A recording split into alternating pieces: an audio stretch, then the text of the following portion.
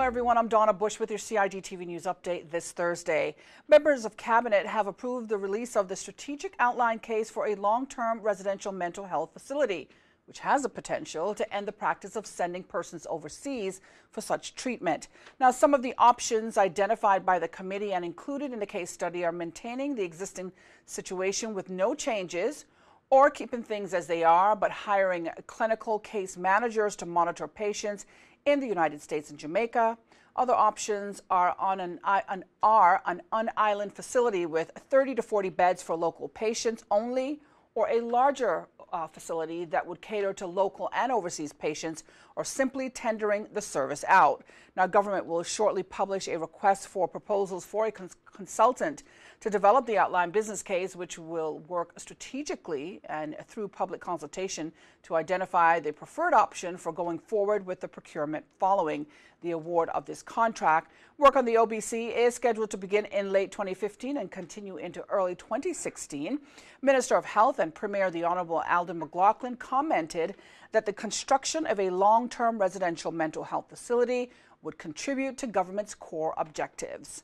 Now, if you're interested in reviewing the SOC or want more details on the plans, you're encouraged to visit the Ministry of Health's website on ministryofhealth.gov.ky. Well, today, Minister of Education, the Honorable Tara Rivers, and other education officials were part of a press briefing on the public consultation process for the Education Bill 2015. The purpose of the briefing, attended by members of the local press, was to provide the following why new legislation of education is necessary, the process that has been undertaken to produce the law and supporting legislation, and the key features of the law and their impl implications for education in the 2010 McKinsey and Company's report how the world's most improved school systems keep getting better. And in many instances, that particular report can be seen as a, as a benchmark review analysing education systems around the world, including Singapore, Hong Kong, Canada, Germany, and England, to name a few. That report specifically outlines a number of key initiatives and um, interventions that were needed in order for these systems to move from poor to fair fair to good, good to great, great to excellent. And so we are making sure that our push and our um, vision aligned with what was international best practice. It was important from, from our perspective as well, because as I said, we compete globally right here in the Cayman Islands, so we need to make sure that our education system reflects the global best practices as well. And you can watch the entire press briefing only here on CIG TV tonight at 8 o'clock.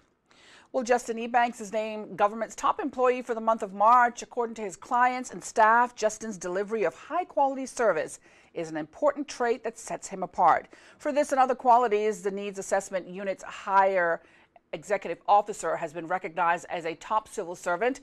Deputy Governor Franz Manderson congratulated him on his ability to multitask and credited him as one of the primary officers who ensured the unit remained operational despite relocating challenges.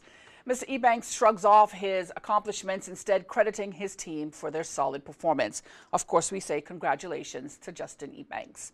Meantime, the Ministry of Youth continues to support the annual Talent Exposition of the Arts.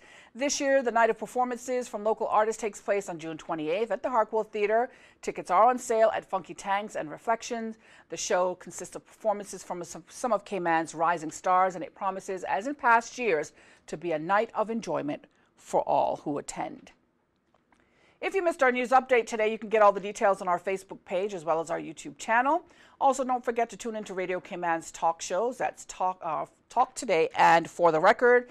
Those shows take place week mornings and weekdays. For now, I'm Donna Bush, as always, thanking you for joining us, wishing you a wonderful night, and hoping you'll join us here again on Friday evening. Until then, bye bye for now.